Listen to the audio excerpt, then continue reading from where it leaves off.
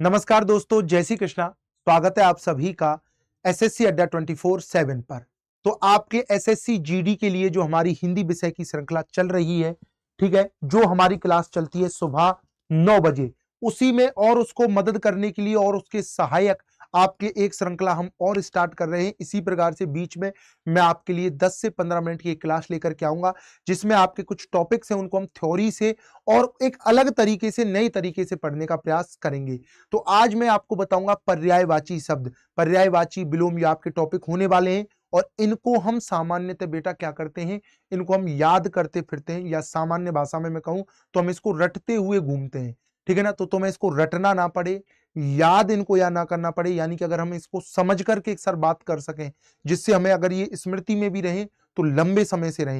यानी कि पर्यायवाची को सीखने का थोड़ा सा एक अलग डिफरेंट तरीके से सिखाने का यहाँ पर मैं आपको प्रयास करूँगा, जिससे यहाँ पर आपको रटने वाली जो विधि है उसको छोड़ करके समझने के स्तर पर काम किया जाए। तो स्टार्ट करते हैं सर इस श्रृंखला को। तो आज हमारी जो श्रृंखला होने वाली है, ये होने वाली है पर्यायवाची शब्द के लिए। क्या होगी? पर्यायवाची शब्द के लिए। तो देखिए सर, पर्यायवाची शब्द होता क्या है पहली बात? तो पर्यायवाची शब्द कहते हैं, बेटा, हम जो समान अर्थ देते हैं, पर्यायवाची। देखिए, ध्यान देंगे आप सभी। दो शब्दों से मिलकर के बना हुआ है पर्यायवाची आपका। देखिए पहले, पर्यायवाची।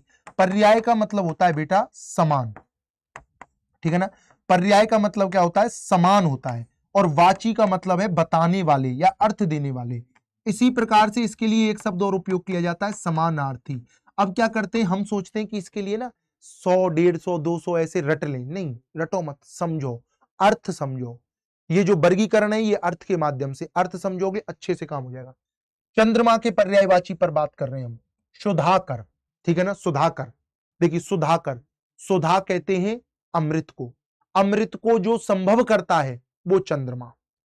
इसी प्रकार से चंद्रमा का एक और पर्यायवाची मिलता है रटो मत चीज़ों को। निशाकर निशा किसे कहते हैं? रात को। रात को जो संभव करता है, वो चंद्रमा। इसी प्रकार से दिनकर किसका पर्यायवाची है? सूर्य का, क्योंकि वो दिन को संभव करता है, ऐसे समझो चीज़ों को। ठीक है ना? अमृत रश्मि। वह जो अमृत रूपी रश्मियों यानी कि किरणों वाला है। रश्मि का मतलब क्या होता है? किरण। अर्थ तुम्हें पता है तो तुम अपने आप निकाल लोगे। ठीक है ना? रश्मियों का मतलब है किरण। वह जो अमृत रूपी रश्मियों, यानी कि किरणों वाला है। उसकी किरणें कैसी है? अमृत के समान है। वो चंद्रमा है, अमृत रश्मि। आगे ध्यान रहेगा ये सब। तमोहर, अरे कुछ नहीं है इसमें। तम का मतलब है अंधेरा और हर का मतलब होता है हरने वाला। हटाओ। अगर शब्दों का अर्थ पता है, मैंने क्या बताया पर्यायवाची, बिलो मनेकार्थी शब्द सभी एक ही टॉपिक है। शब्द का अर्थ पता होगा, सब काम हो जाएँगे। रटो मत चीज़ों को। तमोहर, अंधेरे को जो हर लेता है। ठीक है? चंद्रमा निकल आएगा, प्रकाशवान होगा तो वो अपने आप ढक जाएगा। छपा किसे कहते हैं? रात को कहते हैं। जो रात्रि का स्वामी है, वो चंद्रमा, ये हो गई पर्यायवाची। तो अब कुछ भी कह लो, सुधाकर, अमृत रश्मि निराक निशाकर, तमोहर छपाना और देखो सर इसी प्रकार से। अत्रि जय इसको कहा जाता है। अब्दिज कहा जाता है सर। अमृत का जो अंश है, उडुपति, उडु कहते हैं नक्षत्रों को। नक्षत्रों का जो स्वामी है उददी सुत ठीक है ना? हाँ भाई औषधीस औषधियों का जो स्वामी है, हिम को करने वाला, हिम का अंशु जो है, हरिणांक कहा जाता है इसको। इसी प्रकार से क्या कहा जाता है? सुधा रश्मि, अमृत जैसी किरणों वाला, सुधांशु कहा जाता है। सिंधु जन्मा, ठीक है ना? कलाधर, कलाओं को धारण करने वाला कला निधि कहा जाता है। कुमुद बंधु कुमुदों का क्या है? जो बंधु है, कुमुदनी पति, कुमुदनियों का जो स्वामी है ठीक है ना? छपाकर तो अभी आई गया था। छायांक, ठीक है ना? तारकेश्वर, ताराधीश, तारों का स्वामी, तारानाथ, तारों का जो नाथ है, तार, तारों मतलब नक्षत्र जो भी है, तारे जो भी हैं, ग्रह, ठीक है ना? तारापति, तुषार रश्मि, बर्फ़ के समान जिसकी किरणें। तुषार का मतलब क्या होता है? बर्फ़, अर्थ समझो। ठीक है ना? नक्षत्रनाथ निशा रात को संभव करने वाला, निशीनाथ रात का स्वामी, निशी का मतलब रात, मेहताब है मृग लांछन है, ठीक है ना, दोषाकर है, जिसमें दोष लगाया गया है तुषारांशु है, दधीसुत है, मृगांक कहा जाता है, रजनीपति, रात का स्वामी, रजनीश, रात का स्वामी, राकेश, ससधर, सस किसे कहते हैं? खरगोश को कहते हैं, सस किसे कहते हैं? खरगोश को कहते हैं तो इस पर जो धब्बे लगे हुए ना, लोग ये मानते हैं कि इस पर जो धब्बे लगे हुए ना, ये क्या है? खरगोश बैठा हुआ है इस पर। उसके नाम पर इसका नाम पड़ गया ससधर। ठीक है ना? ससांक आदि तो ये क्या हो गई? चंद्रमा के पर्यायवाची हो गई। ठीक है? चीज़ों के अर्थों को समझो, तब आगे बढ़ो। चलो, एक और करते हैं इसी प्रकार से। आगे चलते हैं। ठीक है ना? हाँ भाई। देखो, रावण के पर्यायवाची पढ़ते हैं हम। किसके पढ़ते हैं? रावण के। इसी प्रकार से मैं बीच बीच में श्रृंखला लाया करूँगा, जो मैं हिंदी के अंतर्गत आपके लिए कुछ महत्वपूर्ण निकाल के ला सकता हूँ, जिससे आपको पढ़ने में, याद करने में थोड़ी और आसानी हो तो मैं ये श्रृंखला बीच बीच में आपके लिए लाया करूँगा। ठीक है ना? सुबह मेरी क्लास चलती है नौ बजे, आपके SSC Adda twenty four seven पर एसएससी जीडी में। वहाँ पर मैं जुड़ता हूँ आपके पूरे पाठ्यक्रम के आधार पर प्रश्नोत्तरी से। तो वहाँ भी आप बिल्कुल जुड़ना नहीं भूलेंगे। वहाँ पर भी एक अच्छी श्रृंखला आपकी चलती है सुबह नौ बजे। देखो, दस मुख। वह जिसके दस मुख है, रावण, इसमें कहीं कोई दिक्कत ही नहीं है। दसानन। देखो, दो शब्दों से मिलकर के बना हुआ है। दस धन आनंद। तो जिसके क्या है? आनंद दस है। ठीक है ना? आनंद मुख को इसी प्रकार से दस कंद, दस ग्रीव, ग्रीवा मतलब गर्दन, जिसकी, अरे दस मुख हैं तो दस ही ग्रीवाएँ होंगी। दस ग्रीव किसे कहा जाता है? सर, रावण को कहा जाता है। लंका का जो स्वामी है, लंकेश, ईस ईस का मतलब हम हर समय भगवान नहीं लेना है, स्वामी को भी बोलते हैं। ठीक है ना? लंका का जो स्वामी है, उसे क्या बोला जाता है? लंकेश बोला जाता है। लंकापति, लंका का पति पति का मतलब स्वामी। दनुजेश दनुज दनुजों का जो ईस है, राक्षसों का जो स्वामी है निशाचर पति निशाचर किसे कहते हैं? देखो, मैंने कहा ना, अर्थ पता होगा तो सब काम हो जाएँगे। निशा कहते हैं रात को, चर का मतलब घूमने वाले तो निशाचर रात में कौन घूमते हैं? तुमने कहा सर, रात में तो राक्षस घूमते हैं। राक्षसों का पति यानी कि जो स्वामी है, ठीक है ना, वो कौन है? वो रावण है। दशमाथ दस माथे जिसके हैं, देखो, दस माथ दस मौली अर्थ याद रखो। मौली का मतलब होता है सिर। दस सिर जिसके सर हम कैसे मान ले सिर? और कहीं कोई कनेक्ट कर सकते हो क्या? बिल्कुल होता है। एक पर्यायवाची देखो इसी प्रकार से कैसे मिलेगा। चंद्र मौली। मौली। चंद्रमा जिसके मौली सिर पर है, ये भगवान शिव का पर्यायवाची हो गया। चंद्रमा किसके सिर पर है? वो भगवान शिव के पर है। इस चीज़ को समझो। ये पर्यायवाची विलोम कभी रटे नहीं जाएँगे। इनमें जो इस प्रकार के तथ्य कंसेप्ट है, उनको समझो। ठीक है ना? दस वदन अरे सर, दस बदन कैसे हो जाएँगे? अरे वो बदन अलग है। इस बदन का मतलब होता है मुख। तो जिसके दस मुख है, और जो बदन तुम समझ रहे हो, वो बदन है ये वाला। इस बदन का मतलब होता है शरीर।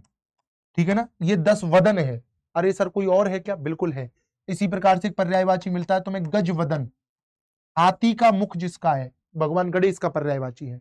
दस सिर, सीधा लिखा हुआ दस सिर जिसके हैं। दस शीर्ष हो गया। दस शीश हो गया, दैत्येंद्र। दैत्यों का इंद्र जो है, पोलस से, ठीक है ना?